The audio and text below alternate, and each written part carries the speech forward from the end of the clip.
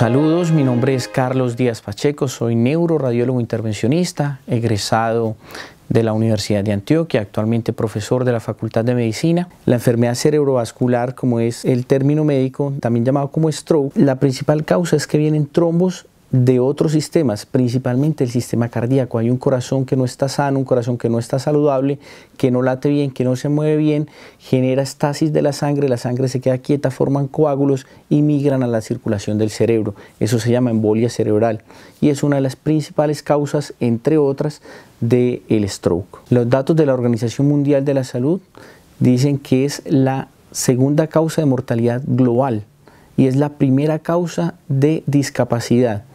O sea que esta enfermedad tiene una mortalidad importante, pero sin embargo los pacientes que sobreviven a esta grave enfermedad van a tener unas secuelas neurológicas importantes, compromiso del habla, compromiso de la parte motriz, afectaciones neuropsiquiátricas y va a ser difícil incorporarlos nuevamente a su, a su ambiente social, familiar y laboral. La clave de la enfermedad cerebrovascular o del stroke tiene tres tópicos. Primero y lo más importante es la prevención.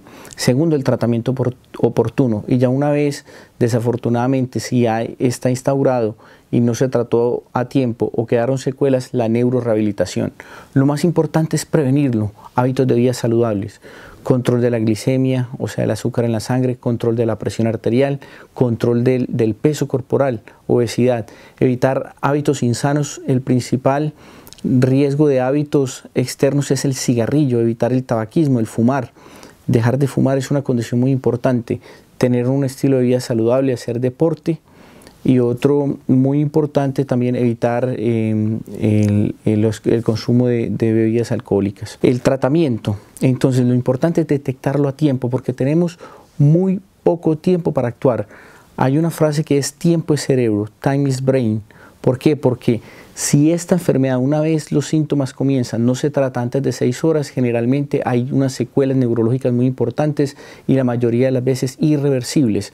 Entonces, hay unas siglas que son el FAST, que en inglés quiere decir rápido, la F por face, entonces hay una desviación de, la comisura labial, entonces, cualquier paciente que presente una desviación de la comisura labial, o sea, la boca torcida, debe consultar un servicio de urgencias. La otra es ARMS, entonces se refiere a las extremidades. Si se pierde la fuerza en la mano, cualquier lado o en la pierna y sobre todo si se acompaña de desviación de la comisura labial, o sea, la boca torcida, es una urgencia, deben consultar de inmediato. El otro es la S de. Si el paciente no puede hablar bien, es un paciente que viene hablando bien y de un momento a otro la boca y la lengua le pesa y no se puede expresar, eso es una urgencia vital. Y la T al final, FAST, es el tiempo entre más rápido consulten y se instaure un adecuado tratamiento, las secuelas van a ser menores o incluso no va a haber secuelas de esta gran enfermedad. La neurorehabilitación es desafortunadamente cuando ya el, infarto está establecido, hay una zona del cerebro que muere y las neuronas dejan de funcionar, entonces las neuronas circundantes tienen que asumir, si es posible, las funciones de esa parte del cerebro que se murió. Entonces, si se reúnen ciertas cosas, como fumar, obesidad, sedentarismo, diabetes, hipertensión, ese paciente tiene un riesgo muy alto de presentar una enfermedad cerebrovascular, independiente de su condición genética. Si además de todos estos factores le sumamos que hay alguna condición propia o genética que le genere la producción de trombos por una enfermedad de base, pues es un, es una bomba de tiempo y va a presentar un stroke en cualquier momento de su vida.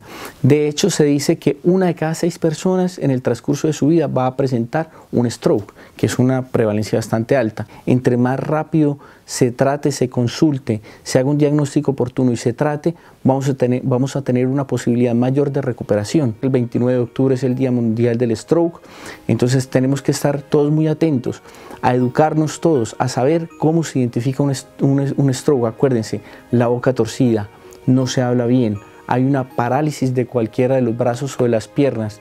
Em, y tiempo, hay que acudir de inmediato a un hospital grande.